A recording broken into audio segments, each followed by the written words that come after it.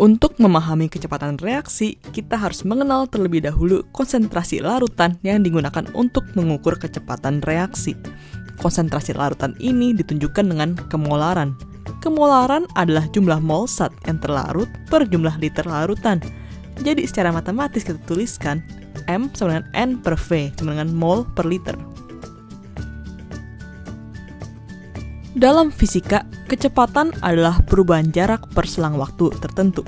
Dalam kimia, kecepatan reaksi adalah perubahan konsentrasi per reaksi atau hasil reaksi per satuan waktu. Jadi, secara grafis digambarkan seperti ini.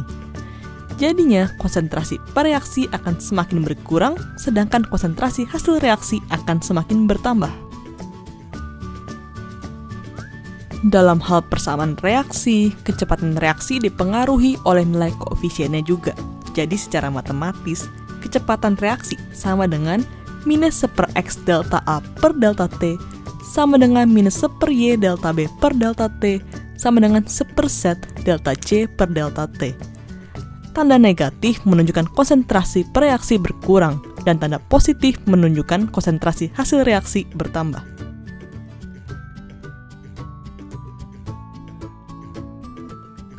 Kecepatan suatu reaksi tidaklah tetap dan dapat dipengaruhi oleh beberapa faktor. Yang pertama, konsentrasi per reaksi. Semakin tinggi konsentrasi per reaksi, semakin banyak tumbukan yang akan terjadi, sehingga kecepatan reaksinya akan meningkat. Faktor yang kedua adalah luas permukaan sentuh. Jika kita memasukkan gula kotak dan gula yang lebih halus, gula yang lebih halus akan larut terlebih dahulu jadi, semakin kecil partikel berarti semakin besar luas permukaan sentuhnya, semakin cepat kecepatan reaksinya.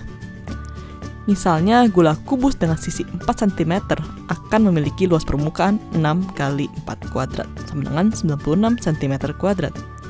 Jika kubus ini dipecah menjadi 8 kubus dengan masing-masing memiliki sisi 2 cm, maka total luas permukaannya adalah 8 dikali 6 kali 2 kuadrat, sama dengan 192 cm kuadrat.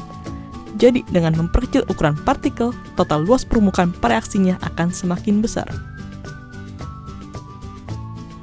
Faktor yang ketiga adalah suhu reaksi. Semakin tinggi suatu suhu, semakin cepat gerak partikel dalam suatu reaksi, maka reaksinya akan semakin cepat. Faktor yang keempat adalah katalis. Katalis adalah suatu zat yang ditambahkan ke dalam suatu reaksi untuk mempercepat reaksi. Katalis bekerja dengan terlibat dalam setiap tahap reaksi dan saat reaksi berakhir, katalis akan kembali ke bentuk semula. Jika suatu campuran tidak bereaksi, penambahan katalis tidak akan membuat reaksi berjalan. Katalis hanya dapat membantu reaksi tetapi tidak bisa memicu reaksi. Katalis sendiri memiliki dua jenis. Katalis homogen adalah katalis yang memiliki fase yang sama dengan pereaksi, Katalis ini bekerja dengan interaksi dengan partikel pereaksi membentuk keadaan transisi. Setelah itu, pereaksi lain akan bergabung dan membentuk produk. Setelah produk dihasilkan, katalis akan kembali ke bentuk awalnya.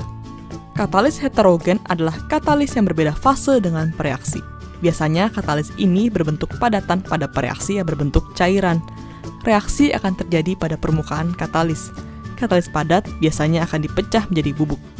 Kenapa? Karena bentuk bubuk memperbesar luas permukaan sentuh. Ada pertanyaan? Langsung email aja ke smarterindo.yahoo.com atau bisa ke Facebook atau ASFM.